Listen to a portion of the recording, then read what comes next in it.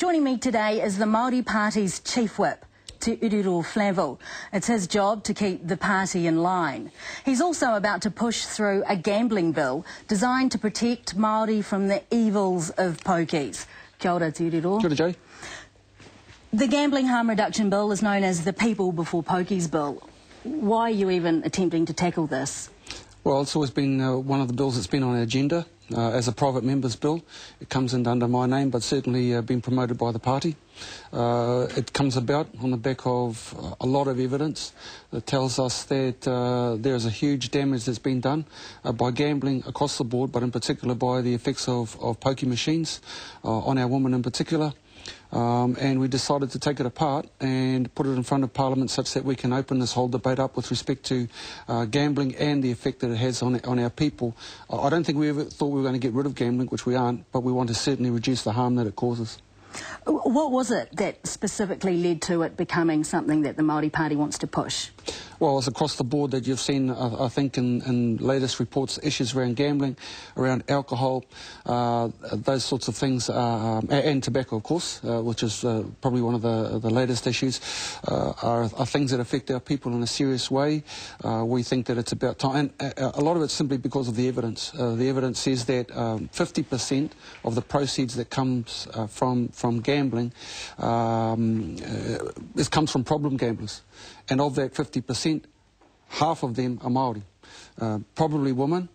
Uh, we know that 30% of all the money that comes from gambling goes to the racing industry. So there's a lot of rorts there that have, uh, haven't been really put out in the open uh, for the public to see. But the, the, real key issue for us is around the, issue of how hauora, about their wealth, uh, the health rather uh, of our people, uh, and in particular the damage that, it, that gambling does through pokies across the board, not only to those people who, who move into that sort of uh, that um, activity, so but more more the children and the families as well. What you're doing is being considered as social hazard policy. Is it social engineering what you're doing? Well, if it if it produces uh, better outcomes for our people, then that's where we want to be, whether that be in alcohol, tobacco, um, or gambling. Uh, we want to be um, there uh, to address issues that affect our people across the board. What do you say to people, though, who say that pokey money is about funding communities anyway? So you take that money away, how do they cope? Well, they'll cope because we've done how? it in the past. Well, simply because the fact is, is that we've, in, in the bill, it suggests that the money that's made within communities should stay within those communities. At the moment, money can be made in South Auckland and sent to Dunedin. We say that that's wrong. Second thing is, is that the issues around gambling, in, in particular in those local communities, should be uh, discussed and debated within that community itself. So it should be for the community to make decisions around the issues of pokies and the number of pokies in that particular community. So if they're making decisions about the money that comes from those communities, then that community will benefit from the money that comes out of pokies. Albeit, uh, we're saying on one hand we want to reduce the harm, on the other side of the coin, we acknowledge that there are some benefits that comes from money that comes out of poker machines. What are the practicalities? How would you actually remove them?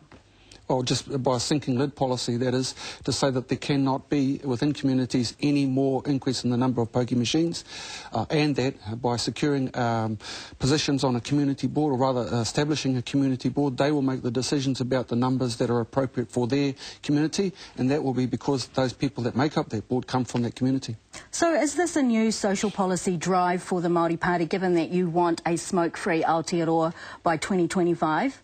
I think across the board, it's certainly where we want to be. We want to uh, making decisions that are uh, that we get from feedback from our own people. By the way, uh, we certainly want to be looking towards making some changes for our people in the best interests of our people. Speaking of feedback from the people, what are they telling you about the Māori Party's position on uh, Takutai Moana Bill? Uh, across the board, we've had a number of uh, well, you've, you've, already reported, I think, on our AGM. Uh, so there were some that said that they didn't necessarily like it. There are others who endorsed the position being ta taken by the party, and similarly uh, with the correspondence that we've had across the board. There are some who have said that uh, they think we could have done better. There's others who have said, well, keep going because it's the best deal that we've got on, on the table at the moment. Keep going, and um, uh, from, a, from the party perspective, our role will be now to go through the select committee process, uh, also have meetings with the key people that we need to uh, to give us some guidance, and when it comes to the second reading and the, the rest of the process, we'll be reassessing and, uh, our position as we go, based on, on feedback across the board. Do you think you've failed your people, given that's why you're in Parliament? Not at all. Not at all. Well, what do you say to the people? Uh, in your electorate who are really unhappy with the fact that the Māori Party is approving of this. To be truthful, um, from all of the invest, all, all of the feedback that I've had, I haven't had one that says we've got it wrong. Uh, I've had some that have said, uh, not a lot of correspondence by the way, uh, but certainly those ones who said, well, we understand the position that you're in. I mean, we came in on the, on the banner of, one, uh, um, uh, repealing the Act, number one. Number two, having ac- restoring access of our people back to go to court to, to uh, secure title and the customary title. We've achieved both of those things. Three, that there should be no sales of the land of the foreshore and seabed. And number four, public access. All of those have been achieved. The one that we missed out on, and, I'm happy to say that, well, I'm not happy to say it, but this is one practical reality that we took on the road, and it was a position that was promoted certainly through our discussions with the government, which was about Māori title. We didn't achieve Māori title, but we did achieve customary title. Okay, Hone opposed it. Sure. Did you ever consider opposing it too? No. Why not? Well, because uh, I had my hand on it just as much as anyone else.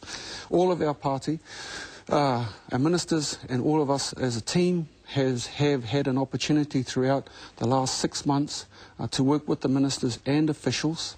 Uh, all the way through, we've had briefing papers, we've had the opportunities to meet with the ministers, and so, and it's with some disappointment that Hone changed. And in the end, he changed on the last on the last night before we were actually going to make a decision.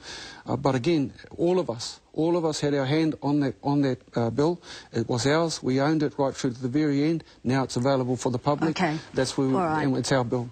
Okay, kia ora. Thank you very much to Ururoa. All the best. Thank you for coming Jodie. on the program Kia ora. too. Kia ora. Kia ora, Scotty. Tēnā koe, Jerry. Tēnā koe, toku rangatira tūruroa. Tēnā koe, wha.